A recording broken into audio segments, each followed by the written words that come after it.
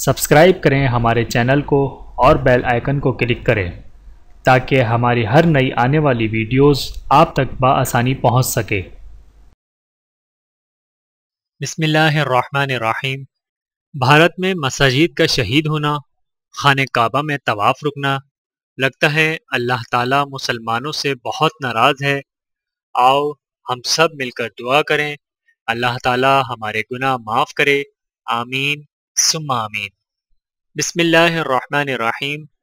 اگر انسان اپنے رب پر بھروسہ رکھتا ہے، تو اللہ سبحانہ و تعالیٰ اس بھروسے کو کبھی ٹوٹنے نہیں دیتا۔ بے شک وہ ستر ماؤں سے زیادہ محبت کرنے والا ہے۔ خانہ کعبہ۔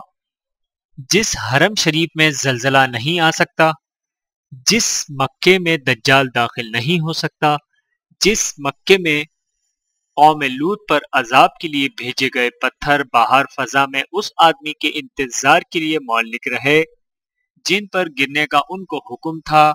جب وہ آدمی حرم سے نکلتا تو جو پتھر جس پر گرنا تھا اس پر ہی گرتا۔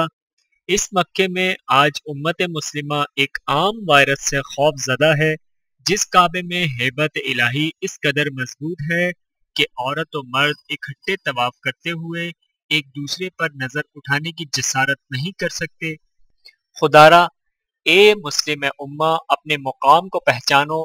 تمہاری ثابت قدمی دیکھ کر باقی مذاہب نے اسلام قبول کرنا تھا۔ اور تم اس قدر بے یقین ہو گئے کہ جس کا کعبہ ہے، جس نے تمہیں عبادت کے لیے پوری دنیا کے انسانوں میں سے اپنے گھر کے طواف کے لیے منتخب کیا ہے، کیا وہ تمہاری حفاظت نہیں کر سکتا؟ کتنا سمجھدار وائرس ہے۔ سبزی منڈی میں نہیں جاتا، کریانہ دکان پر نہیں جاتا، بینکوں میں نہیں جاتا گڈس ٹرانسپورٹ میں نہیں جاتا، گوشت کی دکان پر نہیں جاتا، ہسپتال میں نہیں جاتا۔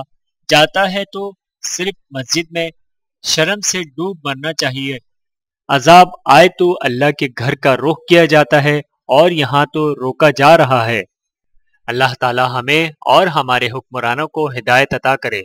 آمین، ثم آمین۔ ویڈیو دیکھنے کا بہت شکریہ۔ مزید ویڈیوز دیکھنے کے لیے ہمارے چینل کو سبسکرائب کریں۔ اگر ویڈیو پسند آئے تو لائک کریں۔ اچھی بات کو دوسروں تک پہنچانا صدقہ جاریہ ہے۔